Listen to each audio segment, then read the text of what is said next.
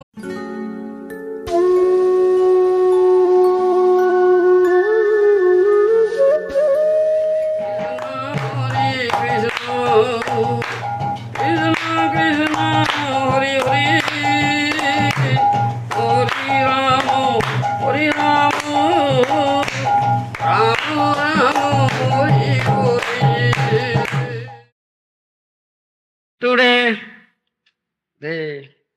auspicious day, the divine appearance of Lord Ramchandra. Lord Ramchandra is one of the incarnations of Krishna.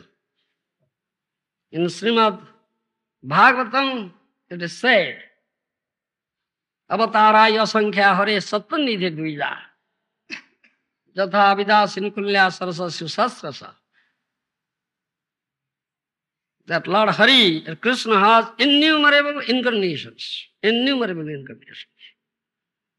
As for example, that as innumerable outlets come out from a big leg, similarly, innumerable incarnations come out from Lord Hari or Krishna.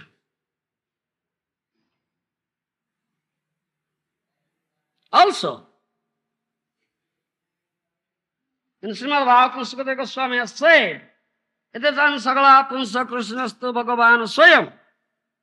All these incarnations are the portion and portion of the portion of the Lord, Ansa and Kala. कृष्णस्तु भगवान से Krishna is स्वयं भगवान is source of all incarnation Brahma Samhita रामादि मूर्ति शुक्ला नियमतिष्ठ नाना अवतार अवतार भुवनेशु किंतु कृष्ण स्वयं परम कुमान जो गोविंदं आदि पुरुषम तमं भजामी same thing Ram Nrisimha Vaman These are कला incarnations, the portion of the portion kala adi purush govinda.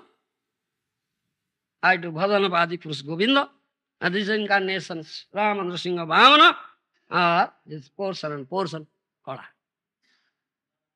So Lord Ram, son of Dasratha, is known as Dasrathi Ram, is one of the incarnations, the portion of the portion of Lord Krishna. So he incarnated himself in the world when there was a great rise of irreli- irreligion. Many demons were there, headed by Ravan. So Lord Ram incarnated, killed the demons, killed Ravan, and gave pleasure to demigods and sadhus. That's in Ramayana. Lord Ram is known as Marjada Purushottama. That means he very strictly observes Vedic rules and regulations, never deviates. He has shown in his pastimes how he has observed it. He is ideal in all respects, ideal son, ideal brother, ideal husband, ideal king, ideal friend, all respect ideal. You understand? And he has taught us by his own example.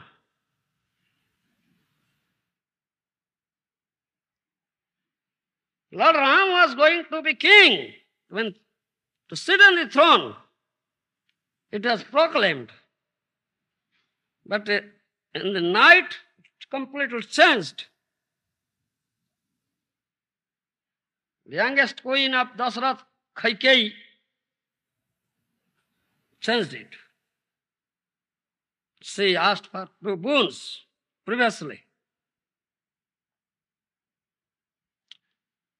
King Dasarath had promised her to give her two boons.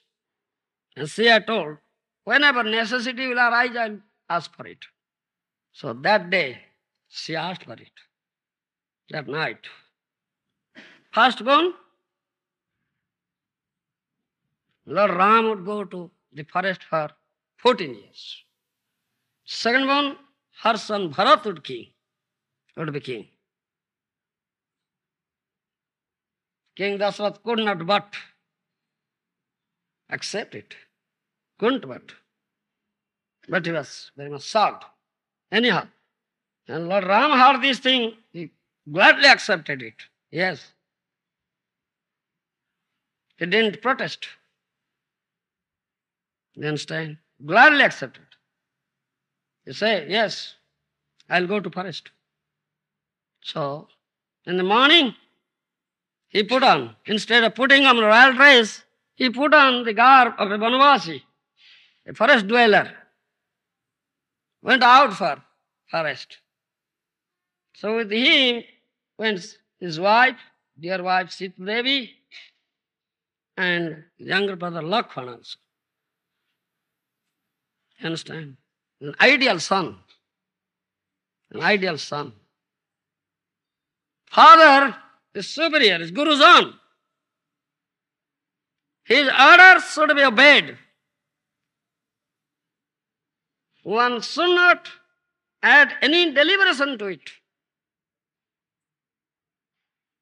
The order of the superiors or Gurujanas or Gurus should be obeyed as it is in Tata. No deliberation should be added to it. That he taught. So at that time, Bharat was not there. He was in maternal uncle's house. So in the meanwhile, Dasrath died out of shock. The Bharat came, heard everything, could understand that his mother, Kaikeyi, had made this politics. So he got angry with his mother. Then he went back. Then he went to the forest to get Ram back. Return Ajodhya. But Ram didn't return. He said no. The order of the Gurus, Guru Janas, should be obeyed without any deliberation to it, adding any deliberation to it. That is, that will auspicious to you and to myself also.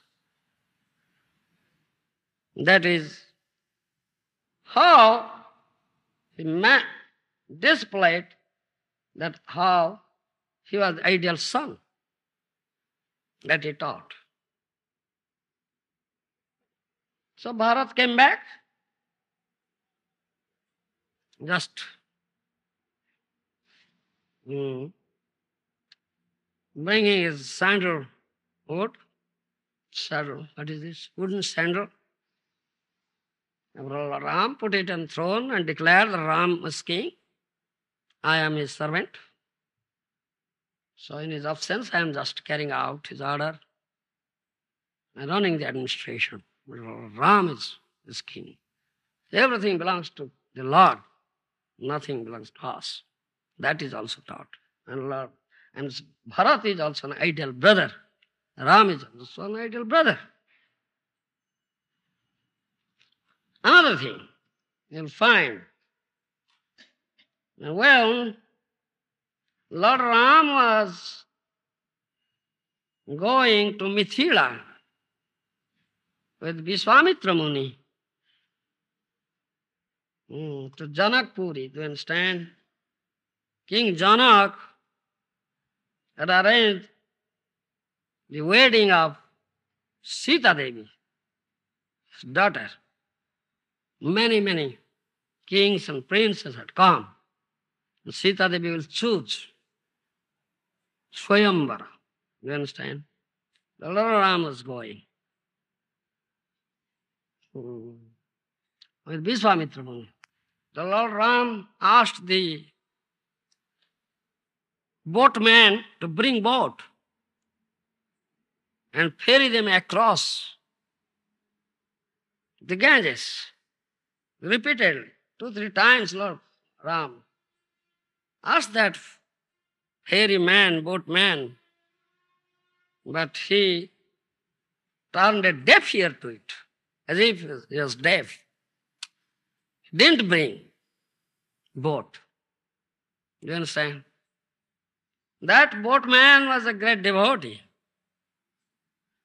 He knows very well that this Lord Bhagavan is not ordinary human being. What is the need of a boat for Bhagavan? Boat is needed for ordinary human beings. There is no need a boat for the Lord. The Lord came as Vamanadev, dwarf, one little feet, small. Huh? With one feet, he covered the whole globe. Huh? He has such power. What the need of boat on his part? If he can stretch his leg, he can come over the other bank. What is the need? But Lord Ram didn't do it. He could have done so, but he didn't do it. Why? Because if he would have done so, the people will, would have imitated him. Mama Vatmanu Vartante Manusya Partha Sarvasa. In Bhagavad Gita, Krishna says that thing. You understand? All this people will imitate me. So Lord Ram didn't do it. If ordinary person would do like that, he'll drown in the middle river. Drown himself. Then Lord will be the cause of his death. So he didn't do it. No. He said, bring boat. Boat is required cross over the river. This is how he didn't deviate the Vedic etiquette. You understand? In this way, you'll find so many instances are there. Then, another thing, when Lord Ram was in the forest, so Ravan sent a demon named Maricho who played there in the form of a golden deer. It's illusory deer. It's not real deer. And goddess Sita asked Ram, please catch this deer and, and get the deer to me. I should have, have it. You understand? And Lord Ram ran behind that illusory deer. Didn't Lord Ram know that's an illusory deer? Lord knows it very well. Why did he run? This is ideal husband. Ideal husband that he taught. Ideal husband and ideal husband should fulfill demands of his dear wife. Make her happy. That's ideal husband. That is sword. Ran behind it. Anyhow, then in the meanwhile, Ravan came, kidnapped Sita like that. Huh? And Lakshmana left because that dear, that demon cried out, Trai Lakshman, Trai Lakshman. Oh, Lakshman, protect me, protect me, protect me. In the voice of Lord Ram, you see. So anyhow, this that story there in Ramayana. So Sita was kidnapped. When Ram came back, he found no Sita, Ram cried for Sita. Sita! Sita! Sita! Cried. Why Lord is crying? You understand? Why is he crying? The ordinary people say, well, see, Lord Rama's crying. He was running behind an illusory deer. If we run behind Maya, what harm to us? Lord was doing that thing. They say, But they cannot understand why Lord will cry. Why Lord will run behind Maya? No. What is the teaching? Why he was teaching this thing? The Lord was teaching that why, if you accept, accept a wife, you have to cry for her. This is a fact. Those who have accepted wives, they are crying. Some crying publicly, some crying silently. And not publicly. Do you understand? And that's a fact. That's teaching. Another thing, you should understand all these things from the past times of the Lord. This is not material, this is all transcendental, spiritual. Joveti tattvata. One should understand in tattva. No apparent consideration. It's tattva vichar. You understand? So, Sriman Mahaprabhu had displayed sarvus in two hands, bow and arrow. That means his Ram. Two hands, flute, means his Krishna. And two hands, danda and kamandal, the sannyasi. That means Lord. This Gauranga Mahaprabhu, Mahaprabhu is also Lord Ram. So when Mahaprabhu was traveling, you understand? He was traveling South India. He visited many tirthas, places of pilgrimage. He came to Kamakostipura. Then he went further towards south and came to Madura. Now it is known as Madura. At the- there he met a Brahman, Vipra, who was a devotee of Lord Ram, Ram Bhakta. That Brahman invited Mahaprabhu for Bhiksha. You understand? To his house. Mahaprabhu took bath. Then at noon, he went to the house of that Brahman to get prasad, Bhiksha. It was noon, and Mahaprabhu saw that that Brahman had not cooked anything. He had invited Mahaprabhu, and it's still noon, but he had not cooked anything. Then Mahaprabhu asked him, Why have you not cooked anything? Then that Brahman said that my Lord Ram stays in the forest, dwells in the forest. In the forest, nothing is available for cooking. Only some forest sack, roots, fruits like that. And Lakshmana has gone to gather something, collect something. Lakshmana has not yet returned. How Sita Devi will cook food? He said like that. And Mahaprabhu became very pleased. After that, then the Brahman cooked something. And Mahaprabhu took some prasad. But that Brahman didn't take any food. He fasted. Do you understand? Then Mahaprabhu asked, Why are you not taking food? Then that Brahman said, I don't want to survive. I want to commit suicide and kill myself. What's the reason? Brahman said, जगन माता महालक्ष्मी सीता ठाकुरानी राक्षस पसीने तार यहाँ का नहीं सोच सीता ठाकुरानी जगन माता of the world the demon touched her i heard this thing in my ear it's so much shock to me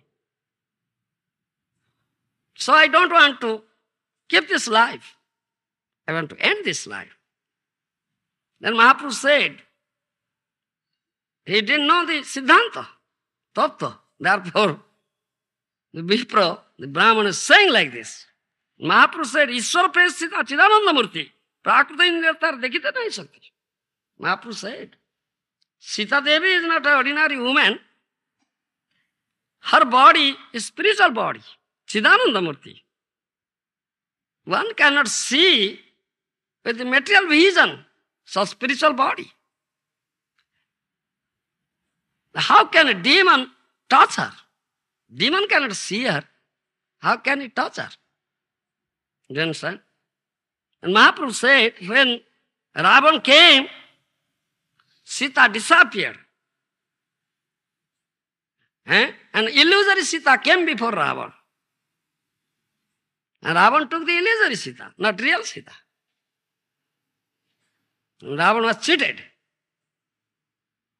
And Mahaprabhu said, believe me, believe me, because Mahaprabhu is Lord Ram. Ah. And don't commit suicide. Don't be so aggrieved.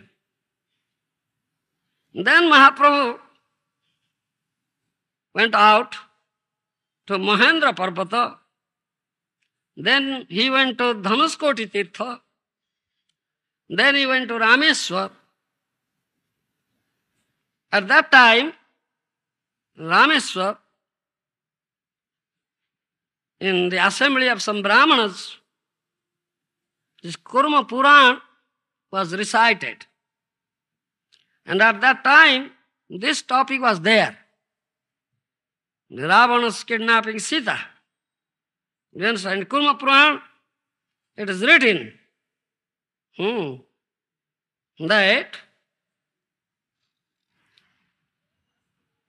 when Ravan came, Sita Devi took shelter in fire god, Agnidev.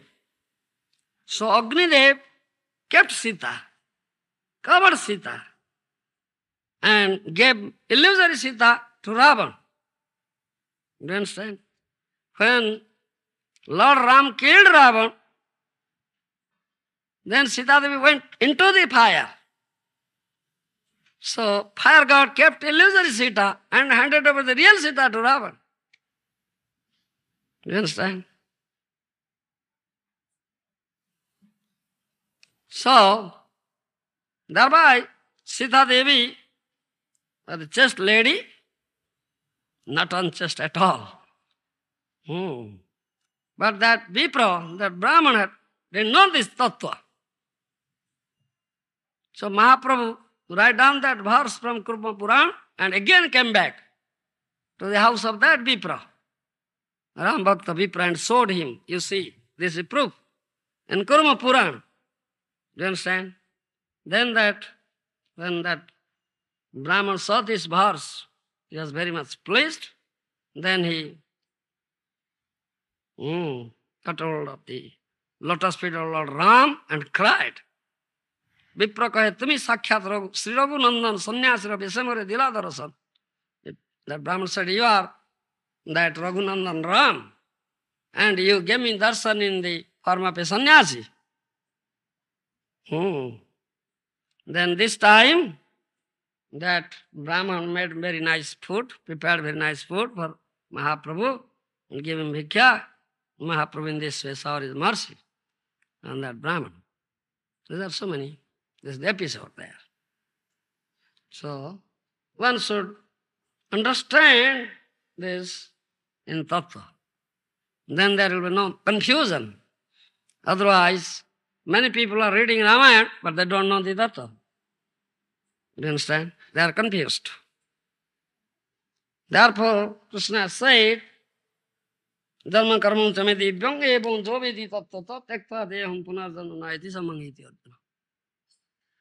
My janma, my appearance, my lila, karma, activities, these are all spiritual, not material.